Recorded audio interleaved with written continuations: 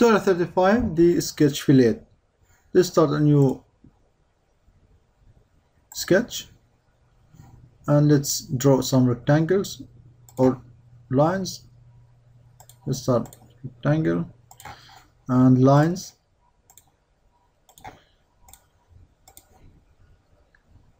And let's activate the fillet tool.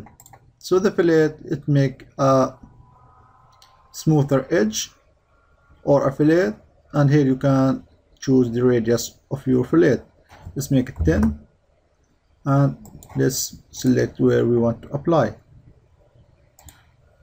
You can se you select the two lines where you want to apply or simply click on the corner points.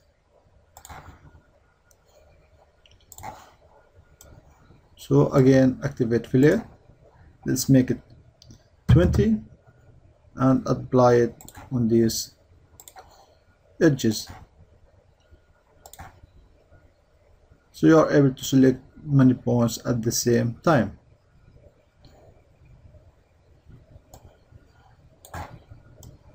Let's create another profile.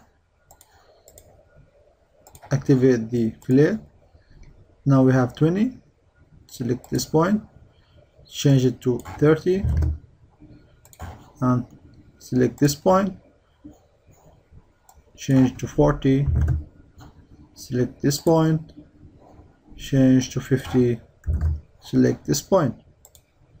So you notice that you are able to make a different size or different radius sketch fillets at the same time. You notice 20 30 40 and 50